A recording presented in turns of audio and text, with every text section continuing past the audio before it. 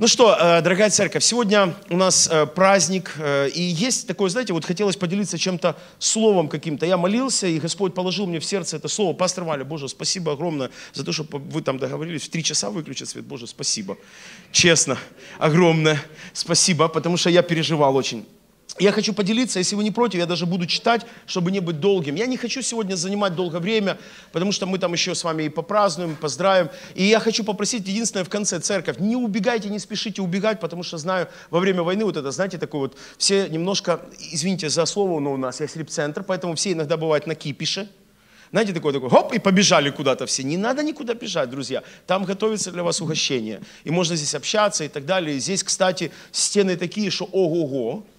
Вы поняли, их так строили, что их не прогреешь теперь, поэтому кому холодно. Если холодно, у нас есть пледы сзади. Если кому-то холодно, поднимите руку, группа порядка вам принесет пледик. У нас есть пледы для всех. Саша, слышал? Вы на тебя смотрю, мне аж холодно становится.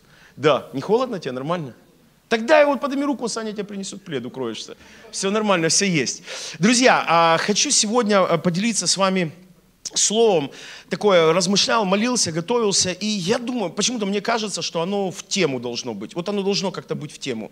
Тема сегодняшней такой проповеди, это, еще раз, это не проповедь, просто слово, размышление. И вот позвольте мне, потерпите на мне буквально несколько там минут. Тема сегодняшней проповеди звучит следующим образом. Где Родина твоя, пилигрим? Знаете, а, мы когда приехали в Америку в 2006 году далеком, я начал изучать об истории. До этого изучал, как бы, ну так, знаком с историей, но изучать начал очень тесно. И в Америке есть такой один праздник, он называется День Благодарения. Что это за праздник? Многие не понимают его, не знают этой истории, но я вам расскажу э, предысторию этого праздника. Смысл его сводится буквально к следующему. Э, первые переселенцы в Америке, кто не знает, это были полноевангельские верующие, пуритане. Э, в основном это были последователи Джорджа, Форк, Джорджа Фокса, это был такой британский проповедник, их называли пуритане Британия слово pure, чистый. То есть это люди, которые, они не пили, они не курили, они такие были прям вообще. Их очень не любили, к слову сказать, в Британии. Там даже была такая пословица, если ты увидел пуританина, либо перейди на другую сторону дорогу, либо подойди и ударь его. То есть их очень не любили, они были такие, знаете, вот прям, ну, ну вот они вызов были для всего общества. И вот они первыми приехали, э, приезжают в Америку, они думают, мы поедем туда проповедовать, благовествовать, и их называли пилигримы, переселенцы, путешественники. И когда они приехали, первая зима была очень суровая. И они ничего не знали, не понимали, нет уже еще ни, никаких там посевов. И вот им в первую зиму эту жестокую принесли коренные американцы, индейцы, которых мы называем, они принесли им там кукурузу, индейку и так далее, и они были благодарны настолько Богу за них, что они утвердили, что с этого дня мы будем праздновать День Благодарения. Но к чему я веду? Смотрите, что такое пилигрим? Пилигрим – это человек, который приходит на новую территорию. Однажды, э, вот если вы кто-нибудь когда-то бывал, или вам получится, если вы попадете однажды в Америку, вы удивитесь очень сильно. Потому что на самом деле реальность такова, что эта страна, она живет где-то лет на 100 впереди нас. Это однозначно, вот просто примите это как факт. Они живут лет на сто нас. Кто-то скажет, ну у нас есть Дия. Да, вот в этом вопросе, может, мы чуток впереди, но в остальных вопросах они живут лет на сто впереди нас, поверьте. И я всегда удивлялся, знаете, ты едешь по Америке, и я такой думаю, боже мой, 350, почти 400 там лет назад на этом месте были скалы, леса, причем такие непроходимые леса, чтобы вы понимали, там они в парках сохраняют девственные вот эти леса, как они были, там сквозь кустарники пробраться невозможно. В некоторых местах они просто не вырубают кустарники, потому что это тупо нереально. Просто ты не можешь вырубить, ты, ты зайти туда не можешь. Там только могут олени, барсуки какие-то пробраться. А так вот и вот представьте себе, эти люди, они настолько были движимы верой, что они сумели эту страну превратить из пустыни, по сути, из кустарника, они сумели превратить в страну номер один, которая сегодня по многим показателям в мире – и вот пилигрим, друзья, это человек, который приходит туда, где ничего не понятно, туда, где все очень сложно, все очень странно, все очень э, тяжело, но он почему-то делает. И вот знаете, вопрос, который, наверное, я думаю, каждому из нас сегодня нужно себе ответить, точнее, я даже сказал, это два вопроса. Вопросы следующие. Почему пилигримы такое делают? Да потому что место, которое они приходят или в котором они находятся, они называют своей родиной. То есть, грубо говоря, Пилигрим превращается в пилигрима, или обычный человек может превратиться в пилигрима тогда, когда он понимает, где его родина. Эм, я задам простой вопрос. Два простых вопроса. Что для вас есть родина? И второй вопрос, где эта родина? Батьківщина, українською мовою батьківщина. Что у вас за родина и где ваша родина? Я уверен, абсолютно убежден, многие из вас, вы задавали себе такой простой вопрос. Почему некоторые люди, они в сложной ситуации ведут себя как-то странно? Вот у кого-то было за время войны особенно? То есть ты думаешь, вот человек должен, по идее, был бы поступить так. Я бы поступил так. Кто говорил такое? Или думал, я бы поступил так. А смотришь, человек поступает по-другому. Почему? Я вам хочу сказать, друзья, вот эти два вопроса, которые мы сейчас с вами задали, они настолько глубокие, что именно ответ на эти вопросы, он и объясняет для нас, почему люди иногда себя ведут так или иначе, или не ведут себя так или иначе. Нашей церкви 11 лет. 11 лет это серьезное время, когда каждому из нас нам нужно научиться задавать себе серьезные вопросы. Мы должны задавать себе серьезные вопросы. Если мы не будем их задавать, то мы будем восторженно младенческими людьми, которые будут радоваться, знаете, ему покажешь пальчик, а, и смеется весело. Дети, с детьми играли когда-нибудь, да? Вот знаете, вот этот шутка, палец там, оторвал, о, дети такие, «А, о, класс. Вот так и мы будем иногда. Но мы приходим к возрасту, когда мы, мы как церковь, нам нужно задавать эти вопросы, чтобы нам были понятны две вещи. Первое, характер нашей церкви, и второе, целеустремленность нашей церкви, устремление нашей церкви. Характер и устремление. Характер и устремление. И вот ответы на эти два вопроса, что или где твоя родина, они дают нам, а, они позволяют нам сформировать правильный характер церкви и каждого из нас, как христианина. И второе, устремление, куда мы устремляемся. А, помните, кто смотрел фильм этот или читал книгу, помните «Три мушкетера»? И там был такой один из э, главных персонажей, Портос. Мне очень нравилась его фраза эта. «Я дерусь просто потому, что дерусь». Вы знаете, это потрясающая логика. Ты зачем это делаешь? Ну, просто потому, что я это делаю. А завтра ты будешь это делать? Не знаю, почему. Потому что я просто не знаю. Понимаете, у такого человека все просто. Он сегодня делает, он делает то, что ему нравится, завтра ему не нравится, он не делает. И вот здесь интересный момент. Что я как христианин должен делать, когда есть война или когда нет войны? Что я как христианин должен делать и почему я это должен делать? Когда у меня все хорошо или когда у меня все плохо? Что определяет это? Что мне дает какую-то гарантию или что гарантирует внутри, что я буду продолжать это делать даже тогда, когда вокруг никто не будет делать?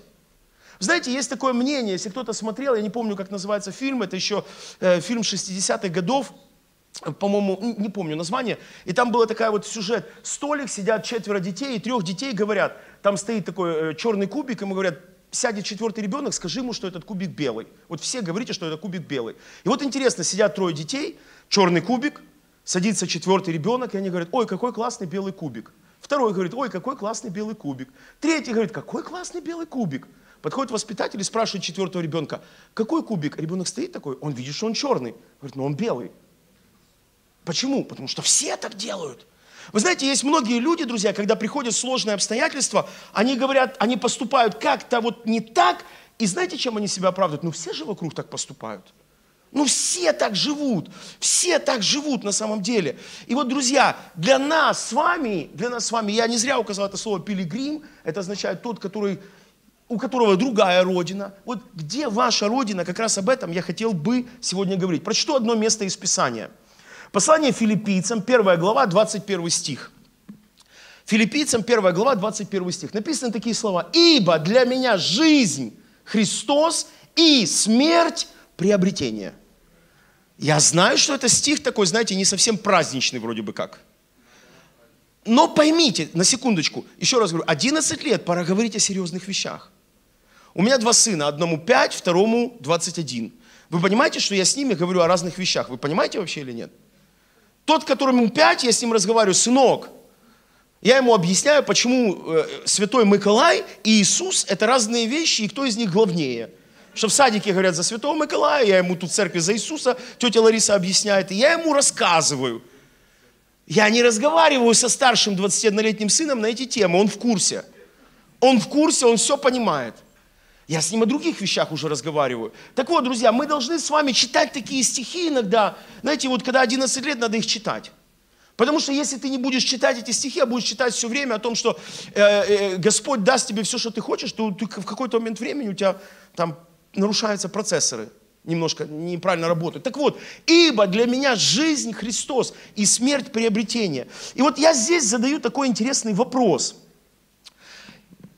Смотрите, он говорит, для меня жизнь Христос. Здесь, в принципе, можно было вообще не проповедовать. Я вообще, э, здесь такой вопрос серьезный. Сегодня утром начал думать, когда уже проповедь написана, думаю, а что для меня жизнь? А что для меня жизнь? Вообще, чем я живу сегодня? Что для меня дает силы жить? Что для меня является жизнью? Что меня мотивирует? Что мне дает драйв? Говорит, классные друзья, хорошая атмосфера, уютно это. Вообще для меня не так, например. Я вот я не понимаю, о чем речь идет. Говорит, разве это жизнь? Я говорю, да, это жизнь. А, а, а, говорю, а что для тебя жизнь? А для меня жизнь это новые впечатления, это переживания какие-то. Я говорю, это не жизнь. И вот апостол Павел пишет здесь такой вызов, кидает, говорит, для меня жизнь – это Христос. Смотрите, что сделал апостол Павел вот этим стихом, внимание. Он здесь говорит, для меня является жизнью, и вот тут, где есть слово Христос, поставьте, представьте себе с левой стороны огромнейший список всего, что только может быть интересно людям, и апостол Павел взял его и перечеркнул. Говорит, для меня это не жизнь он обозначил, говорит, из любого списка, какой бы вы ни составили, для меня единственным списком является Христос. Это номер один, и это один только в этом списке есть. Для меня Христос является. И вот когда мы говорим о родине, что есть родина или где родина, я себе записал такие пункты. Если твоя родина – это ты сам, твоя семья, твой комфорт, то, конечно, ты можешь найти это место, но ты потратишь иногда на это всю свою жизнь потом, чтобы его сберегать, но в конце ты его все равно потеряешь. Кто из вас думает, что моя семья это, это, это класс, это все, это супер? У меня для вас печальная новость, вы ее потеряете. Мои дети это все, у меня для вас печальная новость, вы их потеряете. Вот смотрите, как бы сильно вы не стремились сохранить свою семью, рано или поздно вы ее потеряете, правда? Да. Просто ты ее потеряешь. Представьте, какая э, лажа.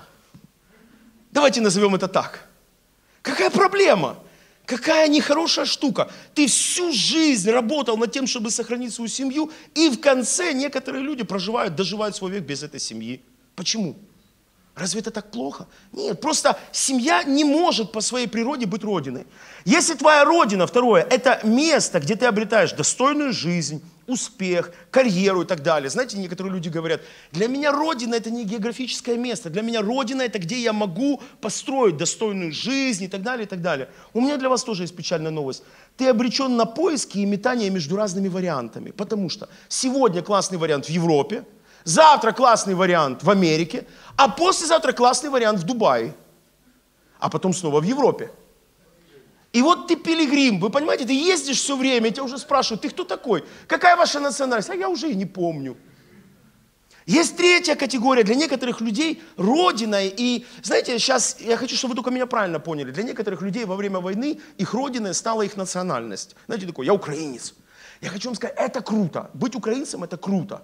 Правда.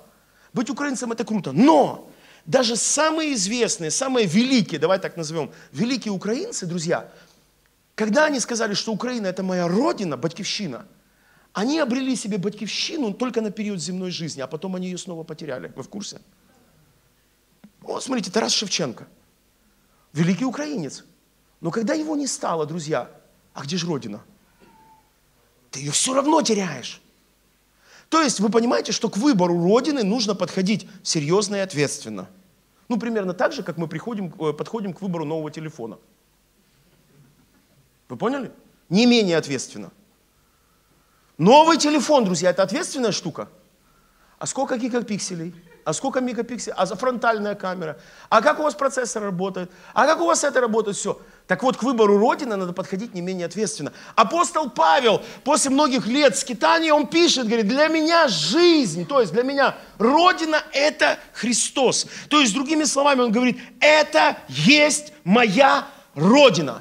И знаете, почему это классно? Я записал для себя такое определение. Если твоя Родина – это Христос и Его Царство, то любые блага земли, даже самые лучшие, они автоматически теряют свой блеск. Вы в курсе об этом? А самые большие страдания на этой земле, они теряют свою боль. Помните, апостол Павел, ему говорят, тот, чей это пояс пророчества, тот будет связан и будет отрублена голова, там, то-то, то-то. Он говорит, ну ничего страшного. Люди плачут, говорят, куда ты собираешься идти? Он говорит, нет, это не проблема, я готов туда идти. Почему? Почему апостол Павел, почему из 12 апостолов 11 закончили не так, как хотелось бы? Вы знаете, правда, мы уже договорились, у нас в церкви, знаете, мы, мы сделали это год благодарения, год правды. Знаете, надо научиться говорить правду себе, потому что очень легко быть христианином, который ходит в церковь, но при этом живет в блуде. И как-то себе это объясняет. Так нельзя, так не получится. Потому что ты будешь всегда, тебя будут рвать на части. А если ты хочешь, чтобы тебя не рвало на части, тебе нужно определиться, где твоя родина. Где твоя родина? Знаете, для пасторов, я уверен, для каждого пастора иногда бывает вопрос. Я уверен, вы сталкивались, смотришь, да, был хороший брат, хорошая сестра, ходили, ходили, ходили, а потом в какой-то момент времени, без объяснений, да, до свидания, и развернулся и ушел. Я помню, в начале моей пасторской жизни, Боже мой, как я страдал. Я первое, что на себя одеваю, как этот пиджак, думаю, ну что же я не так сделал опять? Я же его уже и любил. Я же его уже и, звонил ему. Я же уже ему было тяжело. Я же уже больше, чем своей семье помогал. Знакомо, правда? Я пастора Галю точно знаю. У нее там все дети, все дома, всех свадьбы делали. А потом развернулись и ушли. И ты ничего не, переш... ну, не можешь понять, у тебя мозг, у тебя э, когнитивный диссонанс, есть такое слово, у тебя коллапс головного мозга происходит. Ты не понимаешь, что происходит. Что происходит, друзья? Каждый человек однажды делает выбор, где его родина. Вот каждый, нам придется, нам предстоит сделать этот выбор. Что для меня есть жизнь вообще? Повторюсь еще раз, если вы решили выбрать семью, прекрасно, прекрасно. Просто когда вы ее потеряете, у вас будет проблема – если вы, решили выбрать э, какую-то достойную жизнь, прекрасно, друзья. Однажды тогда вам предстоит, там, как это называется у них, батальон Монако, да, есть? Закарпатский батальон и батальон Монако во время войны в Украине появились. В курсе? Ну, кто не знает, друзья, это такая шутка. Это люди, которые сказали, в этой стране жить сейчас невозможно, и уехали. Что, можно жить? Сложно? Да, но можно. И в Монако уехали, а там хорошо. И сразу родина другая – ну, что ты сделаешь? Ну, такая штука. К чему я веду, друзья? О том, что каждому из нас нам предстоит выбрать место Родины. Я прочту вам еще одно э, место из Писания. Первая книга Паралипоменон, 29 глава, 15 стих. Это ж не я, это уже тысячи лет истории. Потому что странники мы пред тобою и пришельцы, как и все отцы наши, как тень дни наши на земле, и нет ничего прочного. Слушайте, нет ничего прочного. Ничего прочного нет. Вы знаете, я вспоминаю историю одного из великих, ну таких действительно известных великих украинцев. Кто, может быть, слышал, был такой Иван Поддубный, помните у нас? Такой богатырь. И знаете, друзья, он страдал в конце своей жизни, потому что одна его жена предала, вторая жена предала. А потом по итогу вообще его все, он не мог понять, он не мог себе места найти, он умер от тоски, он не мог понять, что с ним происходит. Смотрите, еще он говорит, нет на земле ничего прочного. Мы обычно, слушайте, наш человеческий мозг, он выбирает так. Там, где прочно, там я буду выбирать. Там будет моя родина. Смотрите, дорогие сестры, смотрите, если у вас был бы вариант, например, особенно тех, кто не замужем, кого выбрать себе в мужья? Тысячу мужчин или лучшего из тысячи мужчин? Лучшего, правда? Смотрите, мы выбираем себе лучшего. Также и родину примерно мы выбираем. Мы, мы смотрим и выбираем себе лучшего. А, друзья, оно так не работает. Оно работает только одно. Смотрите, на земле нет ничего прочного. Нужно просто это понять. Нужно просто с этим согласиться. Что бы мы с вами не пытались сделать, вот прям вообще с этим нужно согласиться. Я вспоминаю мы когда жили в Америке, один брат к нам приехал, бизнесмен, и он говорит, слушай, у меня есть друг один, хочу тебя познакомить. И он познакомил меня, э, говорит, это человек э, очень богатый. Я говорю, ну, думаю, ну, насколько очень богатый. Знаете, у всех разные мерки очень богатые. Для меня, если у человека три машины, он, в принципе, очень богат. Ну, разные мерки. А я прихожу в дом, вот смотрите, у меня такой был вот этот когнитивный диссонанс. Мы приезжаем, э, возле Сетла есть такой э, город Беллавью, там есть э, остров, называется Мерсер остров. На нем живут Билл Гейтс, Джо, Джозеф Безос, э, на нем живут там, ну, все основатели, короче, Старбакса, прям вообще это такой квартал, чтобы вы понимали, очень богатых людей. И вот мы приезжаем в дом богатого человека, выходит кореец, одетый в шорты и в футболку, и рядом он выносит мальчика, который там страдает ДЦП. И я такой думал, если честно, думаю, это, наверное, какой-то слуга там ухаживает за этим. Он говорит, не, вот этот человек. И рассказывает, что этот человек реальный там мультимиллионер, он говорит, чуть ли не миллиардер. Он говорит, ну он три или четыре раза в жизни вообще все терял. И мы так с ним разговариваем, он говорит, вы знаете, я все терял, я же такой думаю, ну интересно, в какой момент времени, что, какой секрет. Он говорит, один секрет я понял, короче, говорит, ну, все синим пламенем. Говорит, у меня есть сын, у которого ДЦП. Я вдруг понимаю, что этот человек, его понимание, оно за пределами моего понимания. Потому что он смотрит на вещи так, как на них я не смотрю. Он смотрит на них по-другому. И он понял о том, что нет ничего прочного в бизнесе. Вот какой бы ты его прочный не построил, обязательно может какая-то случиться проблема. Нет ничего прочного в этом, и в этом, и в этом. И он нашел для себя какие-то ответы. Потом я узнал, почему он такой. Он, оказывается, христианин. То есть что-то было ему известно. Так вот, друзья, Возвращаюсь еще раз после этого места из Писания. Можно вернуться филиппийцам 1.21. Здесь написано, еще раз, «Ибо для меня жизнь – это Христос».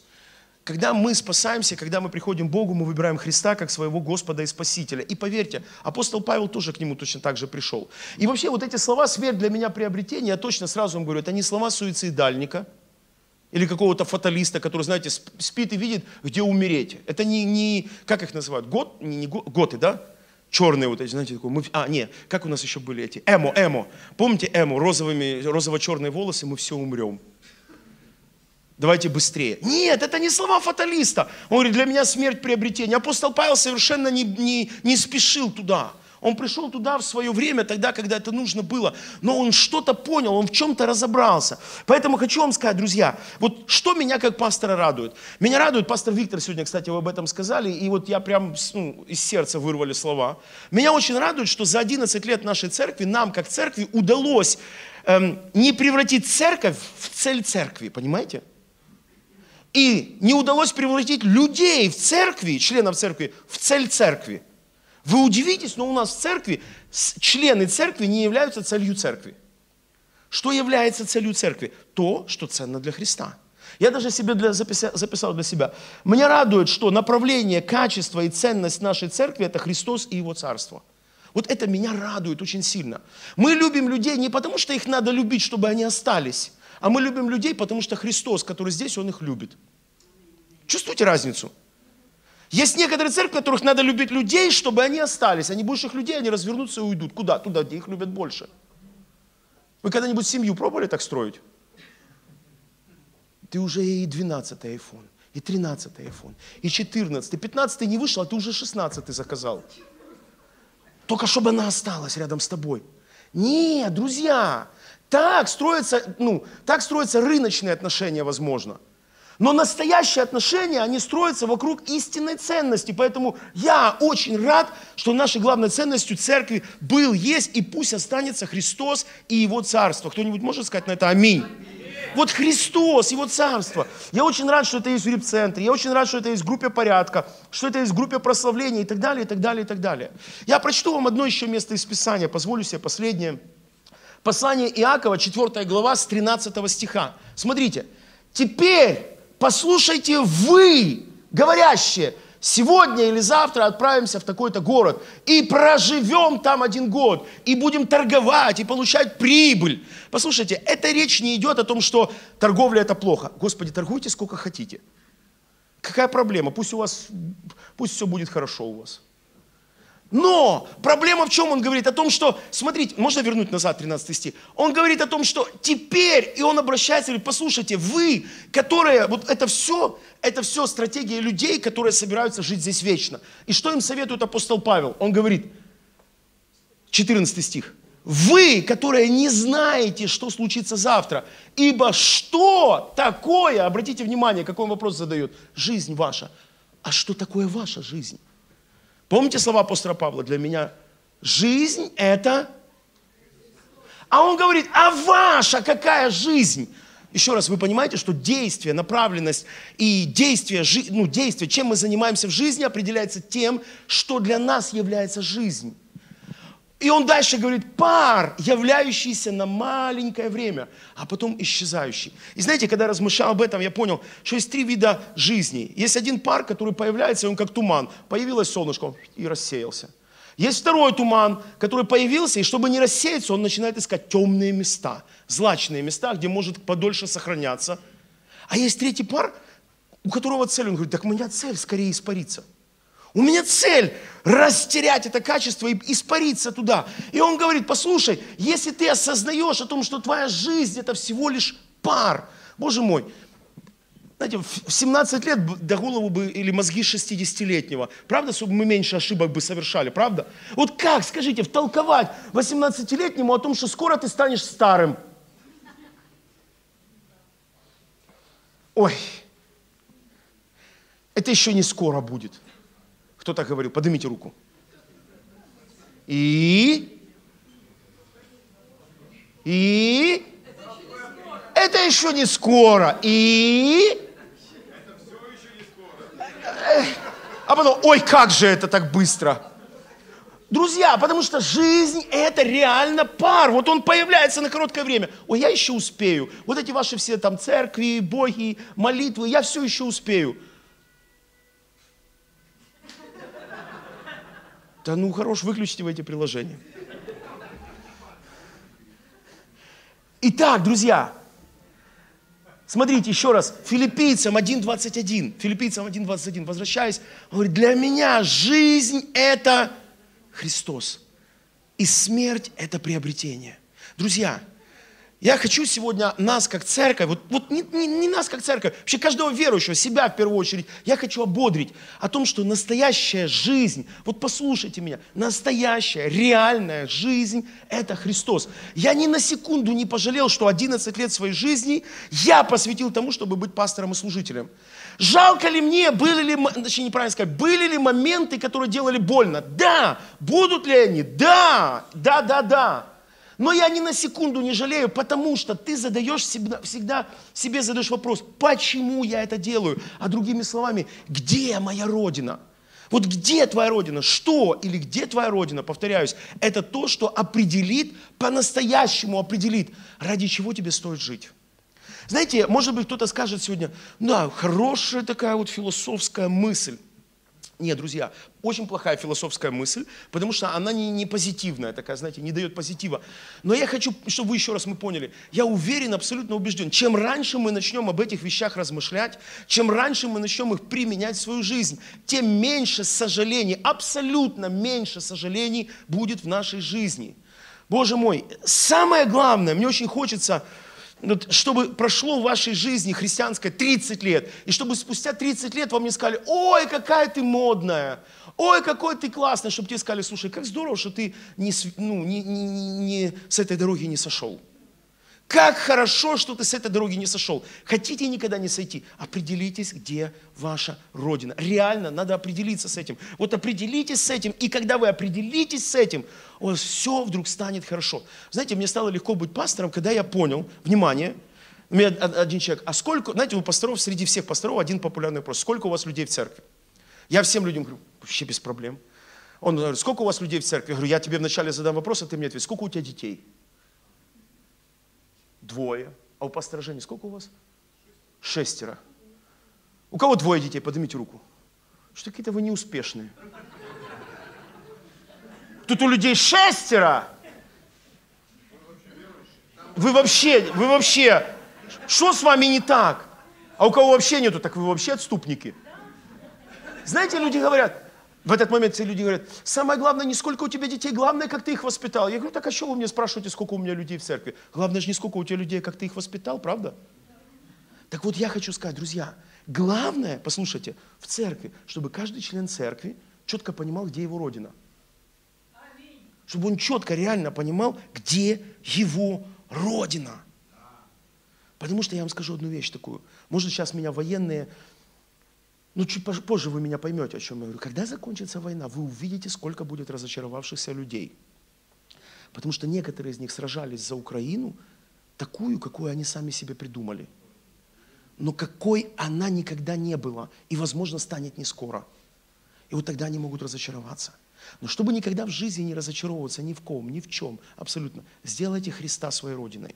Сделайте Его своей Родиной, и тогда у вас жизнь, Его Царство. Тогда в этой жизни, когда будет заканчиваться жизнь, вы будете говорить, Господи, как круто, как же круто я прожил.